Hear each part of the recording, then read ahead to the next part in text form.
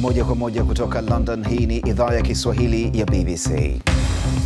Mazishi ya mapacha walioungana Tanzania yafanyika leo. Wameondoka na kuacha funzo kubwa. Walisema ni nini kitatufanya tusifikie ndoto zetu? Je, ni ulemavu tulionao? Wakasema. Maafisa wa Guatemala wasema takriban watu 200 hawajulikani walipo kufuatia mlipuko wa vulkano siku ya Jumapili. Tutaona jinsi mtandao wa WhatsApp unavyotumika katika swala la utoaji mimba nchini Brazil. Na katika michezo, mzozo wa kisiasa waingia michezoni baada ya Argentina kufuta mechi yao ya kirafiki na Israel.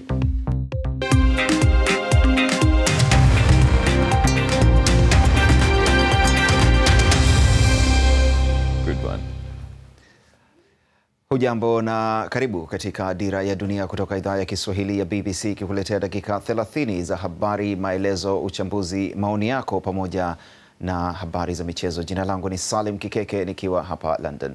Tanzania imekuwa ikiomboleza vifo na kukumbuka maisha ya mapacha walioungana Maria na Consolata Mwakikuti katika mazishi yaliyofanyika hii leo. Mapacha hao walikuwa na miaka ishirini na moja. Wameelezewa kuwa fahari ya Tanzania kwa dhamira yao ya kutaka kuwa waalimu kwa taaluma.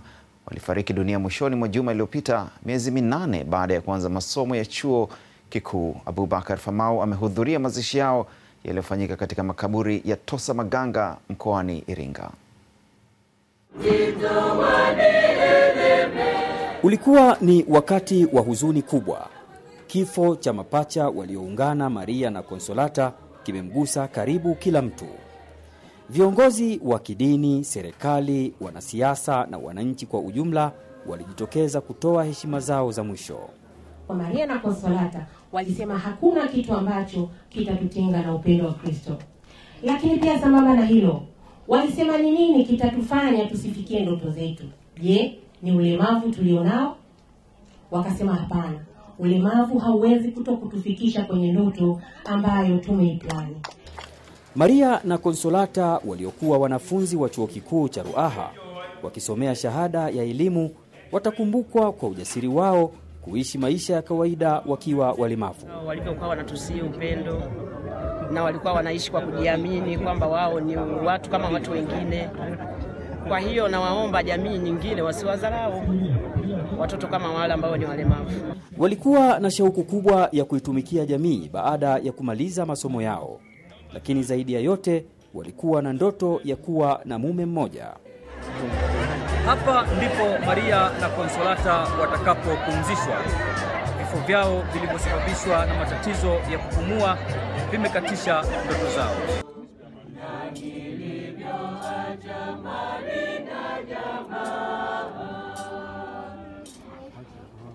Lakini kifo chao kimeacha ujumbe mwanana na ari mpya kwa wanafunzi wenzao mabwenini, kuanzisha kituo maalum cha kusaidia watu wenye ulemavu. Abubakar Famau, BBC Iringa. Taarifa hiyo kwa kina kabisa unaweza ukipata kupitia tovuti yetu maridadi kabisa, moja kwa moja kupitia simu yako ya mkononi. Tovuti yetu ni bbc.com mkwaju Swahili. Taarifa hiyo ya Maria na Consolata. Tuangalie sasa taarifa nyingine zinazogonga vichwa mbalimbali vya habari duniani kwa wakati huu. Kampuni ya magari ya Ujerumani Volkswagen imetangaza kuwa itasimamisha kwa muda utengenezaji wa magari hayo kwenye kiwanda chake kikuu baadaye mwaka huu ili iweze kufanya majaribio mapya ya vizuizi vya utokaji wa mafuta kwenye magari haya.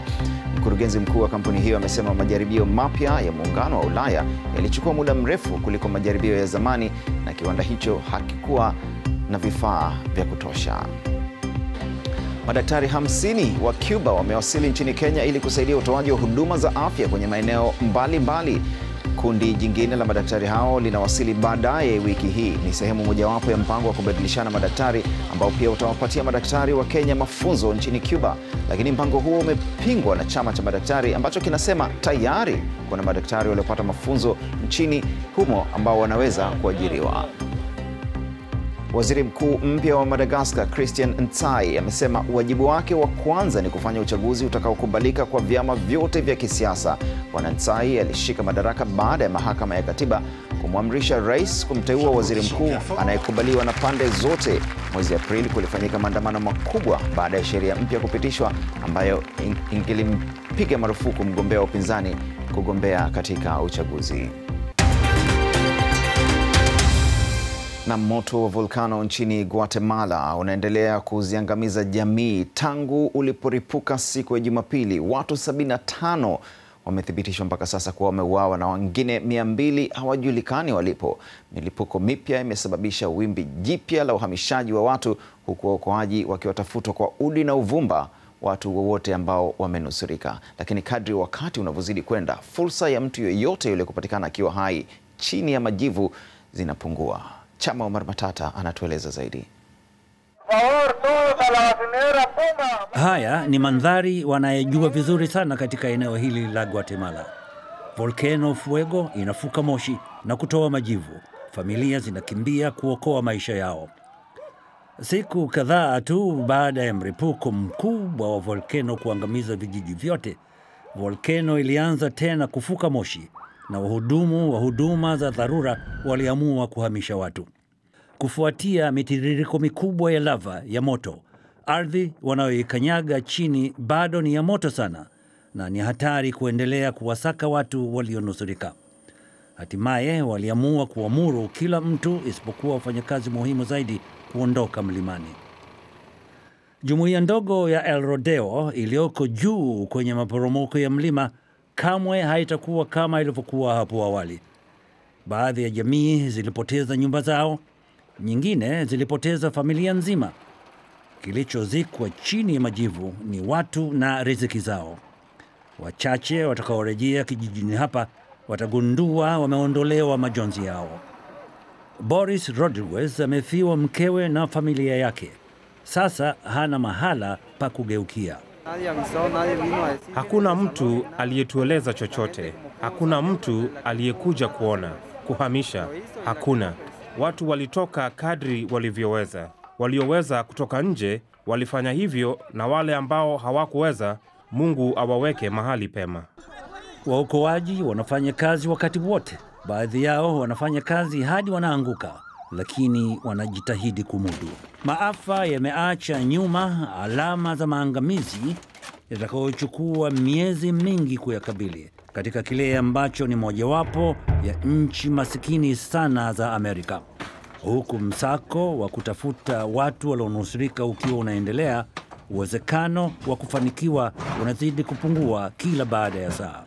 Kwa zile familia ambazo bado zinasubiri kupata habari kutoka chini zaidi mlimani, matumaini yanaonyesha si mazuri. Chama umari Matata, BBC. Hii ni idhaa ya Kiswahili ya BBC. Baadaye kidogo katika matangazo haya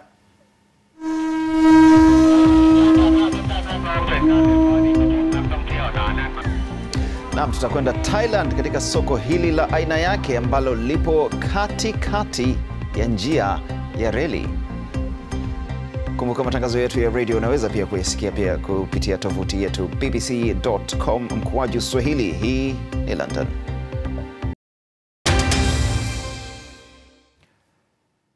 Karibu tena katika Dira ya Dunia kutoka idhaa ya Kiswahili ya BBC hapa London. Jina langu ni Salim Kikeke. Habari kuu siku huu nchini Tanzania, mazishi ya mapacha walioungana Maria na Consolata Mwakikuti waliofariki dunia mwishoni mwa wiki yamefanyika leo katika makaburi ya Tosa Maganga mkoani Iringa. Walikuwa na miaka 21. Wameelezewa kuwa fahari ya Tanzania kutokana na dhamira yao ya kutaka kuwa waalimu kitaaluma. Walifariki dunia miezi minane baada ya kuanza masomo ya elimu ya chuo kikuu. Volkano ya moto nchini Guatemala inaendelea kuporomoka maeneo ya makazi ya watu tangu ilipolipuka kwa mara ya kwanza siku ya Jumapili. Watu 75 imethibitishwa wamekufa na wengine 200 hawajulikani walipo. Milipuko mipya imesababisha wimbi jipya la kuhamisha watu. Wakati muda unaendelea kwenda, matumaini ya kupata watu walio hai yanazidi kufifia. Lawama mpya zimejitokeza kuhusiana na jeshi la Myanmar kufanya mashambulio zaidi dhidi ya raia. Tayari Umoja wa Mataifa umelilaumu jeshi hilo kwa kuwashambulia Waislamu wa Rohingya. BBC imepata ushahidi mpya kwamba jeshi hilo limekuwa likishambulia jamii nyingine nchini humo. Jeshi limekuwa likiwashambulia waasi katika jimbo la Kachin kaskazini mwa nchi hiyo, na lengo ikiwa ni kunyakua ardhi yao. Jeshi linasisitiza wanaolengwa ni maadui wenye silaha. Alex Moridhi ana maelezo zaidi. Katikati kati ya misitu ya Bama, kina mama wanajitahidi kuyafikia maeneo salama, huku ndovu wakibeba kidogo walichoweza kuondoka nacho. Hii ndiyo hali ya hivi karibuni kabisa Myanmar, ambako watoto wanalazimishwa kujificha kutokana na mashambulio ya ndege za kivita za nchi yao wenyewe. Ila hizi siyo familia za Warohinja bali ni jamii kutoka jimbo la Kachin, kundi ambalo limetimuliwa kwa sasa na wanajeshi wa Bama. Jeshi hilo hilo la Bama ambalo lilimuua mwanawe Ma kifungua mimba. Noring alikuwa na umri wa miaka ishirini na miwili na aliuawa katika shambulio la mabomu wiki sita zilizopita. Kinachoweza kumtoka kinywani mama yake ni jina lake tu, na baba yake alitizama Noring alipokuwa akikata roho.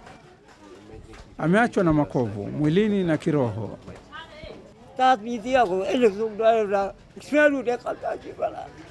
Fikiria ungelihisi nini kama haya yangelimpata mwanao? Nimempoteza, sitamwona tena, anasema. Watoto hawa ni kana kwamba wamesahau mlo mzuri una ladha gani, baada ya kukamilisha mwendo wa mwezi mzima msituni ili kufikia eneo salama. Walikuwa wakiishi katika eneo la Kachin lililodhibitiwa na waasi na ambao kwa miongo mingi wamekuwa wakipigania uhuru, lakini jeshi la Bama linasema ni magaidi na linajaribu kuwafukuza kwa kila namna. Sanja alifanya kazi kama mwalimu wa dini kanisani na katika kijiji chake chenye Wakristu na anaelezea kwa nini aliitoroka nyumba yake. Tarehe kumi na moja mwezi Aprili, ndege nne za kivita zilikishambulia kijiji. Tulisikia wanajeshi pia waliwabaka wanawake na kuwatesa wazee katika maeneo jirani, kwa hiyo tukaondoka. Mbele ya msitu huu kuna taarifa za mamia wanakijiji wengine wa Kachin inayoaminika wanatoroka kuelekea mjini kutafuta usalama. Haya yote katika nchi ambayo jeshi huamua yote, huku serikali ya Aung San Suu Kyi ikiwa kimya. Alex Mureithi, BBC. Nam, robo ya idadi ya watu duniani wanaishi katika nchi ambazo zina sheria kali kuhusu utoaji wa mimba, hasa Amerika ya Kusini, Afrika na Asia. Brazil ni nchi mojawapo, licha ya kuonekana kuwa ni nchi yenye msimamo wa wastani. Utoaji mimba ni marufuku, ila tu kukiwa hakuna budi kufanya hivyo. Wanawake wengi wamekuwa wakipoteza maisha yao wakijaribu kutoa mimba katika zahanati za vichochoroni au watakabiliwa na kifungo cha miaka mitatu gerezani. Lakini kundi moja la wanawake limeamua kutumia teknolojia ili kuwasaidia wanawake wengine kwa kutuma ujumbe kupitia WhatsApp. Suluma Kasim anatusimulia zaidi. Nilianza kutoa mimba kupitia mtandao huu. Nilichukua vidonge viwili. I'm really scared. I'm Naogopa sana na naona aibu. Wanawake hawa wanaelezeana masahibu yaliyowapata wakati wakitoa mimba nchini Brazil, ambako sheria zake kali haziruhusu kabisa jambo hili. Nchini humo utoaji mimba ni uhalifu, huruhusiwa ikiwa tu utatokea mazingira ya magumu kama vile ubakaji. Lakini kundi hili la WhatsApp linatoa njia ya siri. Tulijiunga na kundi hili na moja wetu akijifanya kama anataka kutoa mimba. Kundi hili huwasaidia wanawake kuweza kupata vidonge vinavyoanzisha kuhamasisha utoaji mimba. Tukalipa pesa kupitia benki. Siku chache baadaye vidonge vikawasili. Wakunga wako mbali kuwasaidia wanawake kukabiliana na kile kitakachofuatia. Baada ya miezi kadha ya uchunguzi wetu, tukamwambia ukweli mkuu wa kundi hilo kuwa sisi ni waandishi wa habari. Amekubali kuzungumza nasi. Abigail, ambalo hili si jina lake hasa, anatuelezea yale yaliyomfika yeye hata kukampelekea kuanzisha kundi hili la WhatsApp. Mwezi Oktoba mwaka 2013 nilitekwa nyara na kubakwa, nikapata mimba, na kwa bahati mbaya sikuweza kuitoa kwa njia halali, kwa sababu mtu aliyenifanyia haya alikuwa na ushawishi mkubwa sana, afisa wa zamani wa polisi. Nilifikiri nitakuwa na maisha yangu siku za usoni, lakini yalikatizwa, na hiyo ndio sababu ya kuanzisha kundi hili la WhatsApp. Sidhani kama ni haki kufanyiwa haya, tunalazimishwa kufanya hivi. Kwa mujibu wa Abigail, kundi lake hili limewasaidia wanawake mia tatu kutoa mimba zao nchini Brazil, na teknolojia hii mpya ni mojawapo ya njia nyingi ambazo wanawake hutumia katika kutoa mimba kinyume cha sheria nchini humo. Wanawake wanahofia kwenda hospitali wanapokabiliwa na matatizo yoyote, kwa vile wanahofia kushtakiwa. Masaibu yote tuliyosikia katika uchunguzi wote huu ni kutoka kwa vijana wa kike. Wengi wao wamepitia madhara mengi. Nchini Brazil, wanawake wanakabiliwa na udhibiti wa kisheria, dini na kijamii, na humalizikia na mimba zasizozitaka na huishia kumaliza uhai wao. Suluma Kasimu, BBC. Baadaye kidogo katika habari za michezo, mshambuliaji wa timu ya wanawake ya Chelsea na England Eni Aluko amesaini mkataba na mabingwa wa Italia Juventus. Aluko unamwona hapo, amekuwa akikabiliwa na matatizo ya ubaguzi wa rangi hapa Uingereza. Dayo Yusuf atakuwa na habari hiyo pamoja na nyingine kadhaa za michezo. Hii ni idhaa ya Kiswahili ya BBC. Mimi ni Salim Kikeke, tukutane baada ya takriban dakika mbili.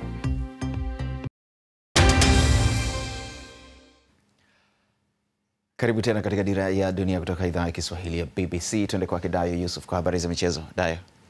Salim. Asante. Israel imeitaka bodi inayosimamia soka duniani FIFA kufanyia uchunguzi kile wanachodai ni vitisho kutoka kwa Wapalestina dhidi ya timu ya Argentina, ambavyo vitisho hivyo vimelazimisha kufutwa kwa mechi walio waliopangiwa kucheza nao mjini Jerusalem.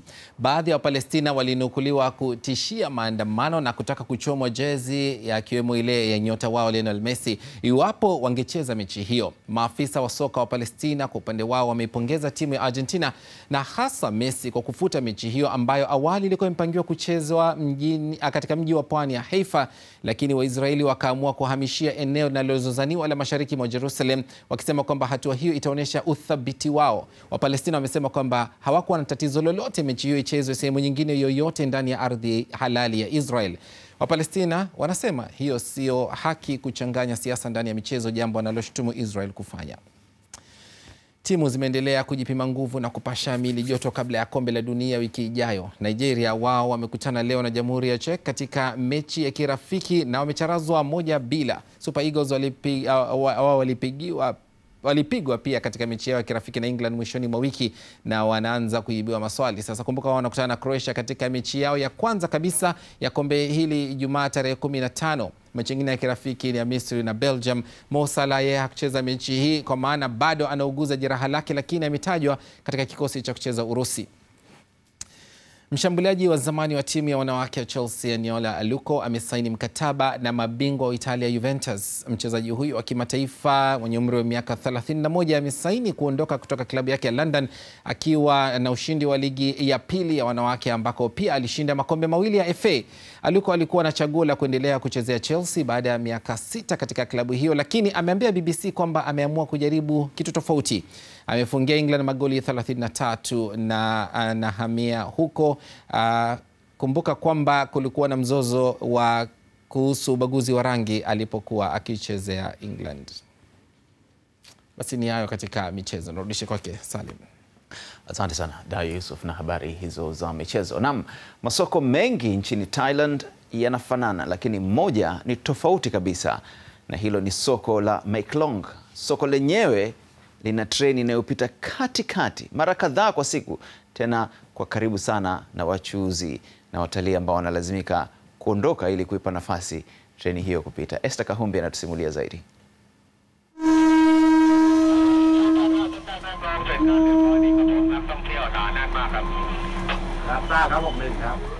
Hilo ni onyo kwa dereva kumwarifu kuwa stesheni imefurika watalii wanaosubiri kuona treni likipita katikati ya soko maarufu mjini Bangkok.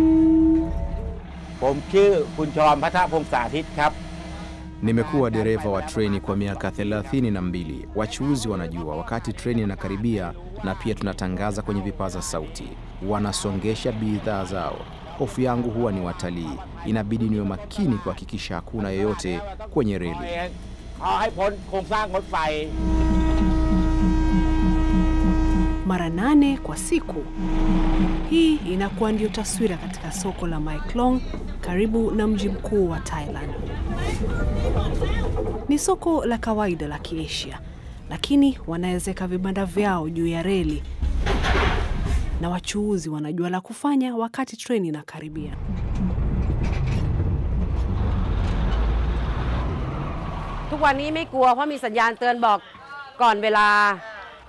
Sina hofu yoyote, kuna ishara na tangazo litatolewa.